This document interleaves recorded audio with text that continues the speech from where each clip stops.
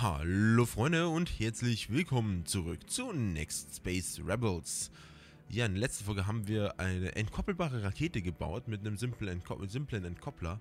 Und wir haben hier noch zwei Nachrichten. Einmal von Dot Science und von Raysun, die mich sehr interessieren würden. Wir haben natürlich Dude Surf auch noch und natürlich StarTube.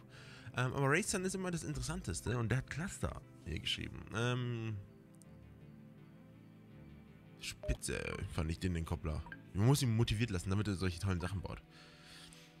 Ich hoffe, dass du viele Anwendungszwecke dafür findest.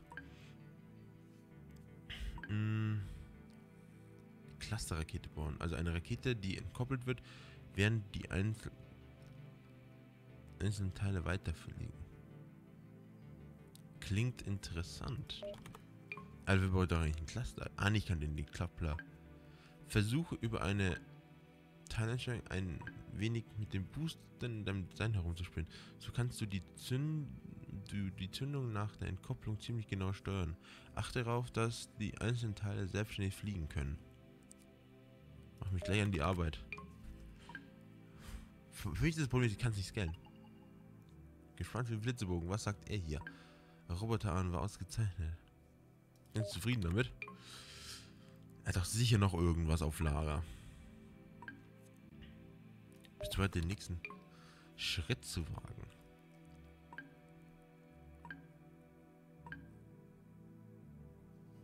Rakete fliegen zu lassen ist einfach. Aber wäre es sie, sie gehen zu lassen? Eine Rakete.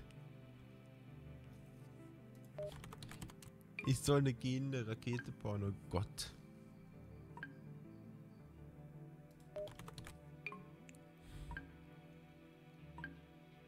Das wird anstrengend. Ich sehe es jetzt schon.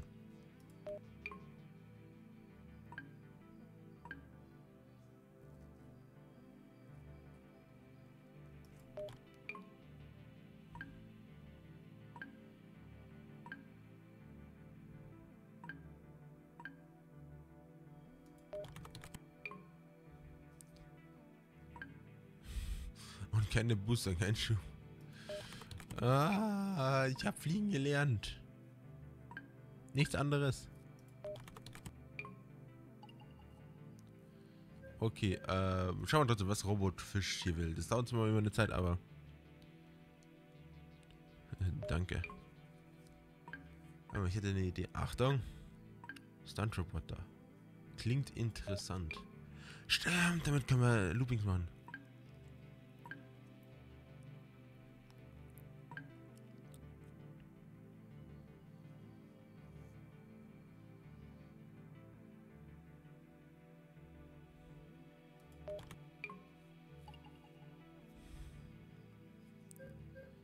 Okay. Racen, so sehen. Ah, nee, das machen wir zu Ende wieder. Wir, Cluster, löse eine Rakete unter 50 Meter aus. Erreiche 200 Meter. Also werden wir wahrscheinlich sagen... Eine PVC-Tube. Ähm mit einem Booster drin. So. Dann brauchen wir von Kinematik den Ent ne, das ist warte, den, das ist der Koppler. Der ist ein bisschen groß, gibt es den nicht in kleiner?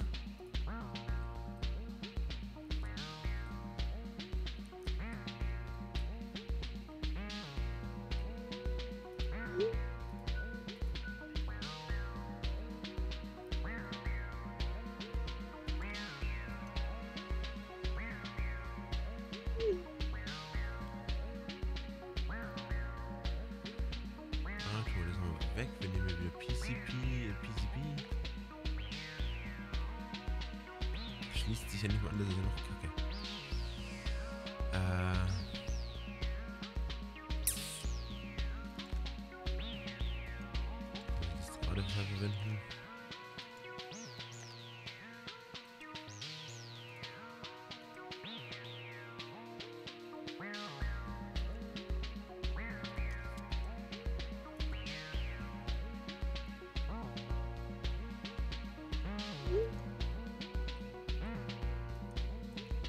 weiß, wir müssen hier voll umbauen.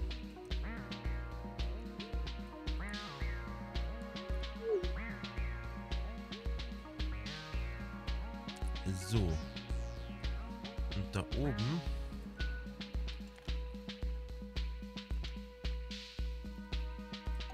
Und dann links und rechts Booster dran.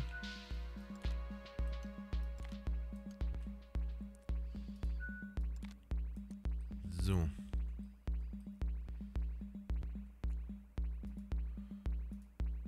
Mit einem Versatz von sagen wir drei Sekunden. Das sollte vollkommen ausreichen.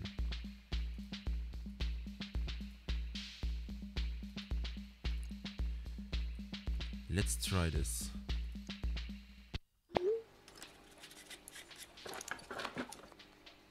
Das, das, das, die Kappe ist viel zu groß.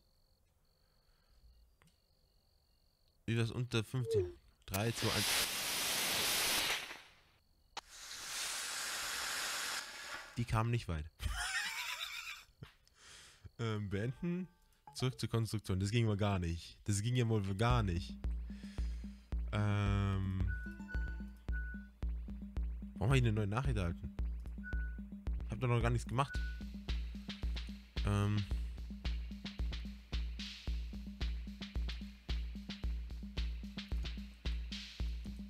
Was ist, wenn wir dich rausnehmen, dich entfernen?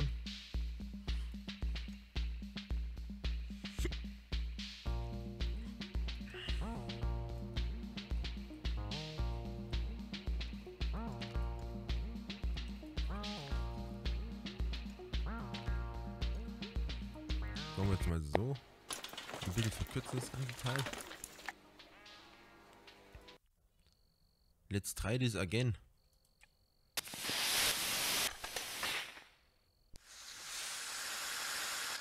Warum sehe ich das Booster-Teil? Looping-Rekord, wenigstens das, wenigstens irgendwas. Giant Boost, individuell Looping, Nasen-OP. Und? Nein, hi. No Gott, das, das lade ich jetzt einfach nur hoch. Ich keinen Plan was ich sonst mache. Kombination mega okay. Ja, solange es was bringt, vielleicht können wir einen neuen Trieb, können wir das neue Triebwerk verbauen. 81. Das war unerwartet. Warum habe ich schon wieder zwei neue Nachrichten? Frühjahrsputz bei der NASA. Was? Wo? Was? Frühjahrsputz? Heilige Scheiße. Was? Nase macht Frühjahrsputz. Äh. Oh, Einkaufen von Raketentriebwerken bei der NASA. Oh, das ist ja geil. Fang lieber an zu sparen. Dich nehme ich zu 100.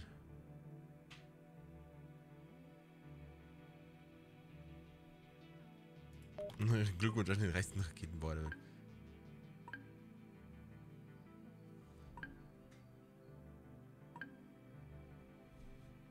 Habe mal gelesen, dass irgendwelche berühmten Satip Millionen pro Monat machen.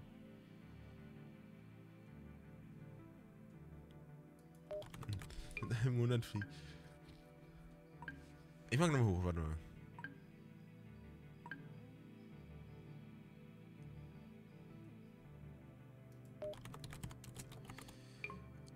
Ach komm, ich will das da oben lesen.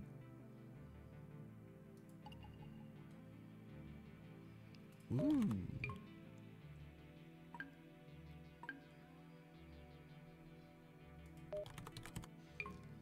So. Ähm, wir haben wieder eine neue Herausforderung erhalten. Bau mit Graf Hirsch. Das ist sogar ein eigener... Ah, warte, ich wollte erst einkommen. Shopee, Shopee, Shopee, Tour. Triebwerk.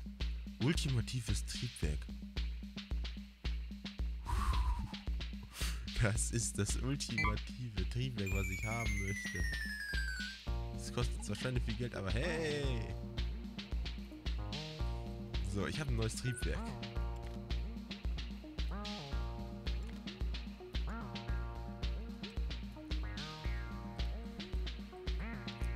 Wenn alles gut ist, kann ich den Tank hier oben drin platzieren. Und setze einen Aufteiler hier hin und kann das dann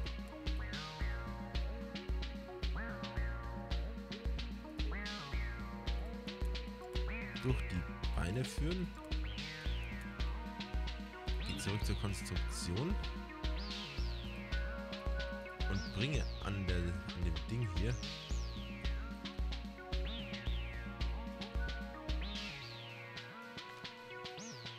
ein paar Flossen an.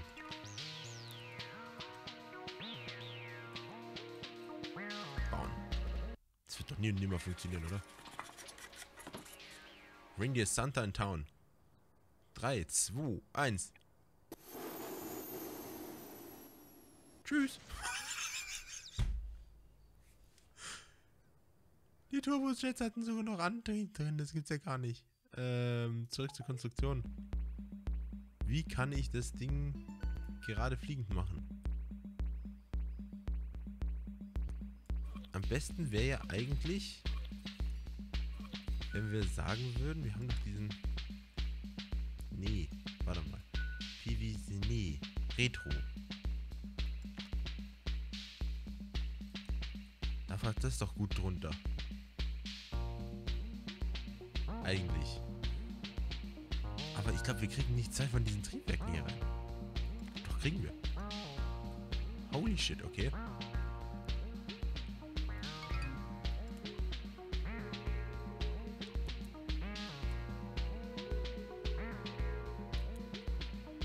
Ich würde sagen, das wird interessant. Ich würde sagen, drei. das wird interessant. Mit drei, zwei, eins. Nicht schon wieder schief. Okay, das kriegen wir hin, das kriegen wir hin. Das Problem kriegen wir hin, das Problem. Das ist nur eine Sache der Position der Triebwerke.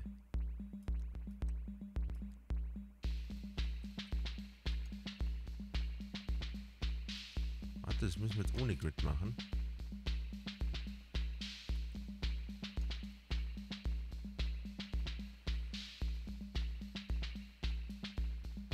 So. Das sollte schon funktionieren. Triebwerke verbauen. Easy peasy. Und Höhe wieder eintragen. Let's go.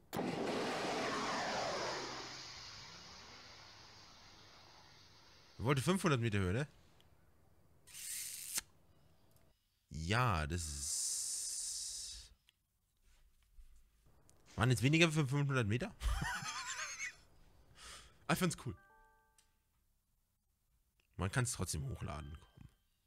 Graf 4, Schrott, Flugfeld, Gepard, Sprit. Jetzt machen wir was Neues. Das ist doch hochladen. Lol, okay. Das waren viele verschiedene Kombinationen auf einen Schlag. Und man kriegt natürlich viel Geld. Nice.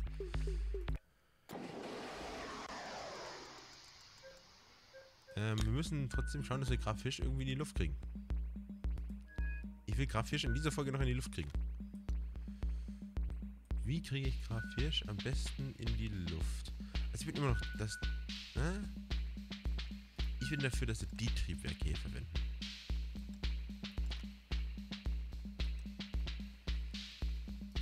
Treibstoff können wir wieder den verwenden.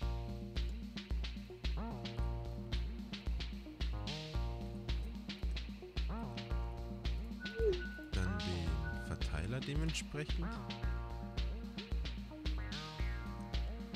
Und wenn ich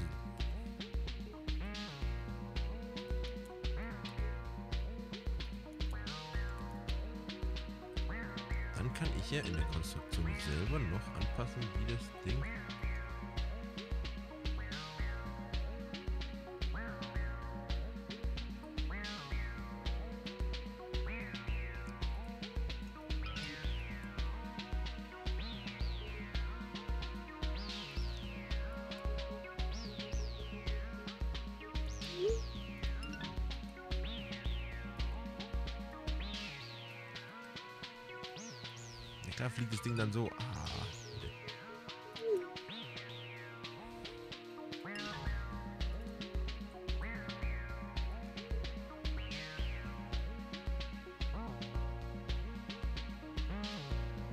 Okay. Muss ich wieder verbinden. Bauen. Neuer Versuch. Mann, es wird ja... da war was. Scheiße. Mann. Ähm... Triebwerke sind nicht auf derselben Höhe. Dadurch gibt das Ding.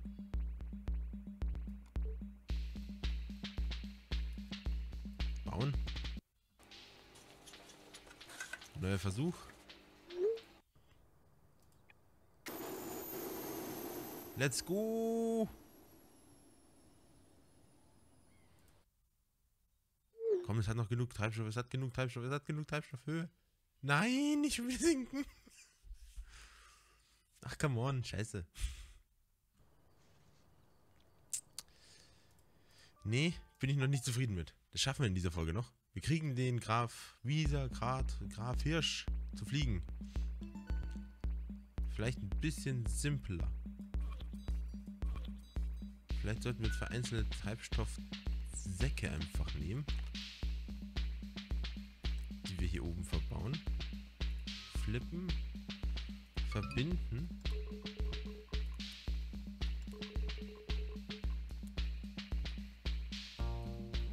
Dadurch haben wir hoffentlich ein bisschen mehr Schub. Und wenn ich jetzt unter Booster gehe, ne, scheiße, habe ich nichts mehr. Wer nervt? Ah, immer noch dasselbe. Start bauen. Das muss jetzt funktionieren, rein theoretisch. Viel zu gut dafür.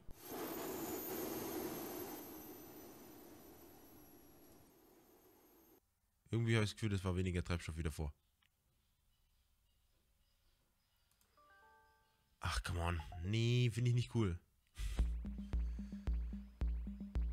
Was ist, wenn wir wirklich auf den Standard von uns von früher zurückgehen? Ein Booster zwischen den Beinen.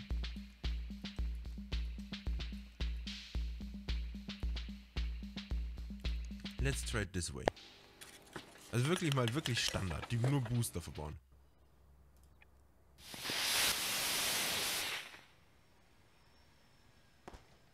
Nö. Zurück zur Konstruktion. Ich will das hinkriegen. Leute, ich will das heute noch hinkriegen. Wir gehen mal zurück. Wir nehmen das Triebwerk. Wir nehmen einen großen Treibstofftank und verbinden das. Ah, scheiße, dafür brauche ich jetzt hier rein theoretisch eine. Wir machen mal wieder alles an. Eine PVC-Pipe oder irgendwas, was sich damit verbinden lässt. Kann ich denn noch? Die Holzbank ist hier zu groß. Nö. PVC-Pipe.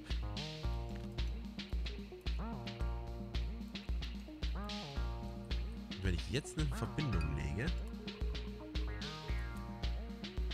dann müsste das funktionieren. Bin ich mal gespannt. Let's go. Adieu.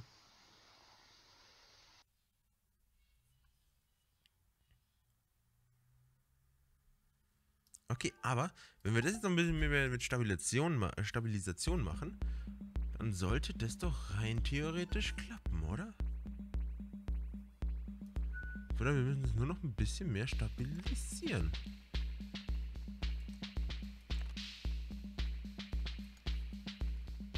Beispiel so. Das sollte doch funktionieren, oder? Die Beine hin. Triebwerk dazwischen. Jetzt flieg gerade hoch, mein Freund. 200, 300, 400. Yes, 500. War doch klar, dass es funktionieren muss. oh, 800 Meter sogar. Oh. Das hat jetzt besser funktioniert. Es war wirklich einfach die Stabilisation, die uns halt die, die Neigung gemacht hat, wodurch wir natürlich äh, horizontalen Treibstoff verloren haben. Oder horizontalen äh, Druck. So seltenes, instabiler Flugwinkel. Hey, aber es war nicht schlecht geflogen. Kannst du jetzt nicht sagen, dass das scheiße war. Ähm, Video hochladen. Doppelschwanz, Falke, Lauf, PVC.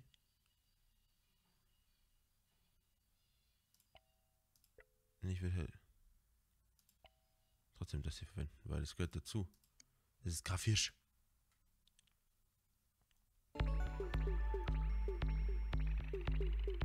Super Combination. Mhm. Kontostand steigt wieder.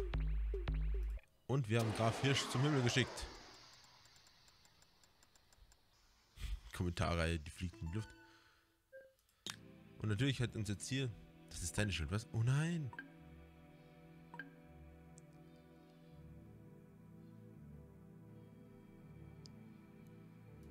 Upsi. Schnell klebst sie wieder zusammen.